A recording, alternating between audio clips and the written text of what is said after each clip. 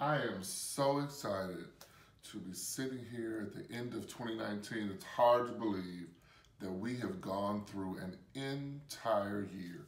It seems like just yesterday I was in watch night service preparing to go into 2019 and here we are moving into 2020.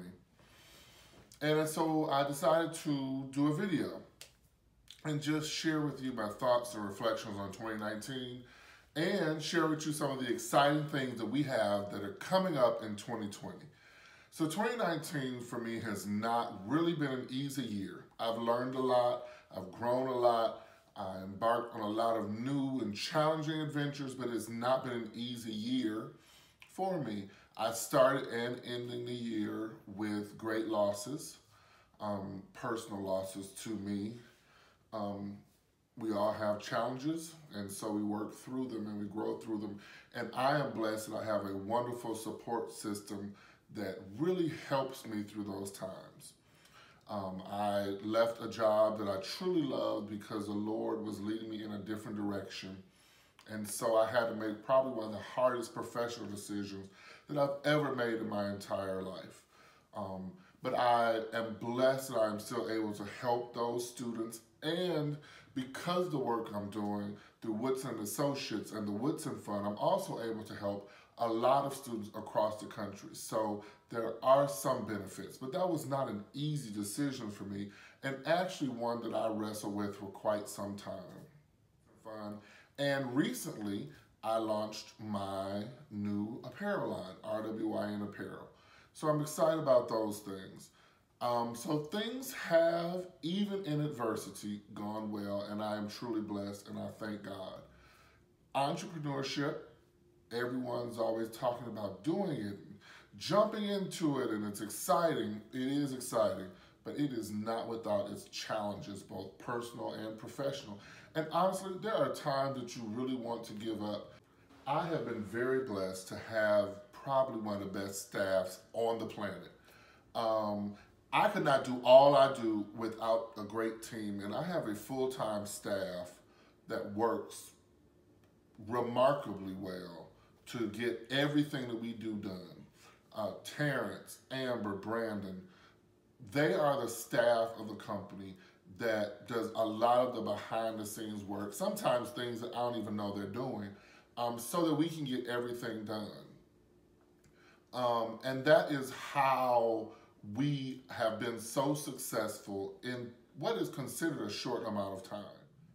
The challenge with being a visionary sometimes is it's hard to truly share what has been presented to you, often in prayer, um, with everyone else. You see it, you see this huge picture, you should see all that God has given you. And sometimes it's just really hard to express that fully to the people who have shared, decided to share the journey with you.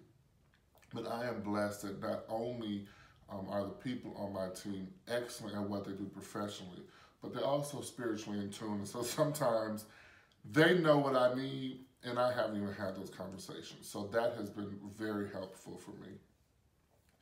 2020 is, you know, the year of vision. And I am a visionary. Um, and so I do believe that as we move into this next year, everyone who is attached to a visionary will be blessed in some way, shape, or form. I cannot believe that God would send us into this next year and not allow all those who are connected to visionaries to be blessed. So we are going to be launching some new things. I'm excited that I will be starting my vlog from the desk of the dean um, in 2020 some students of mine at Paine College, where I used to work, gave me that title, and it is personal to me and means a great deal to me. And so I would like to thank Chinwe and her team for um, coming up with that name. And so I am going to keep that name because they named that for me personally. Um, and so that does mean a lot. And so I'm going to keep that. Um, I'm also going to be launching some other things. My YouTube channel will come up. And I am also excited.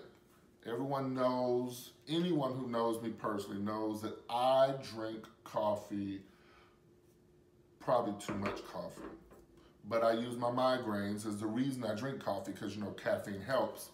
I drink coffee a lot. So, that being said, I am going to be starting my morning inspirational series called Coffee Conversations. So, there'll be brief, short, like five minute snippets that I'll record and I'll be posting in the morning. They'll happen during the week.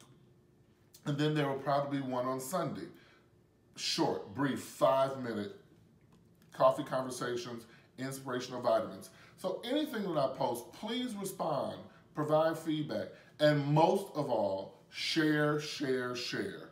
What I need is for you all to share the information I'm posting and get other people to subscribe to my YouTube, subscribe to my social media, because the goal is to really impact as many lives as we can. And so I hope that you all will continue to support me in this next season. Um, and we'll be rolling out some new partnerships in 2020, which I am very excited about. But in addition to that, we are now prepared to expand the company. We brought on one consultant already. We have several more that have completed the process and then we will be bringing them on in January. We brought on Dr. Hinton, who is really an enrollment specialist. And if you have not read or utilized the book that he was primarily responsible for editing, you need to get that book. The people who contributed articles in that book are some of the foremost scholars on enrollment and HBCU knowledge and retention across this country. So it has been more than worth the investment. We also have brought on another person who I will announce later, who is a specialist in housing and residence life. Um, and we are potentially about to sign a contract with an IT specialist. So if you are interested in joining Woodson and Associates as a consultant, feel free to email me. My email will be at the end of this video so that we can get you vetted and credentialed and signed with the company. There is a lot of work to do. HBCUs are viable, HBCUs are credible, and HBCUs are still producing the greatest number of graduates of African descent in this country. And then in February, February 28th, we will have our African Royalty Scholarship Gala here in Atlanta. Huge event, huge. What do I need? I need everyone to support this event. This is not just another gala. We are trying to raise $50,000 from that evening's event for scholarships. We have opportunities if you have a business, you can be a vendor, you can purchase program ads. If you have a larger company or even a smaller company, we have opportunities for you to become sponsors for that event. So there are ways for businesses to get involved. Tickets are on sale. You can buy tickets directly through our website, or we also have an Eventbrite link. But we really need this event to be huge. Everyone can contribute. If you are not in Atlanta and unable to attend, purchase a ticket, send me an email, and notate that you would like to donate the ticket. Or purchase a student ticket because we do have some students that would like to attend, and although we have created a student rate, they still are not able to afford it. So purchase a student ticket, let us know, and we will make sure that there is a student who can use that ticket. Or you can even go online and just make a donation to the fund itself and then we will make sure that that is counted in the evening's numbers. But I am personally asking that everyone helps us do this event. One of the things that I use when I'm working in education is a quote by Carter G. Woodson, who is my great grand uncle, and it simply says that education should be used to make one's life better than when we found it. And I truly believe that education in all its various forms, whether it's a four-year institution, a two-year institution, trade school, beauty, cosmetology school, your life should be better when you complete that process than when you found it. And the Woodson Fund's sole goal is to remove the financial barriers and other barriers to education so that young people can achieve their dream of obtaining a college or educational degree. And we need your help because we cannot do that work alone. So we are preparing for 2020. I am in the midst of completing a few projects. I said I wasn't going to work on the 31st, but here I am working. And then I have to be at church because we have watch night service, and I'm very excited about watch night.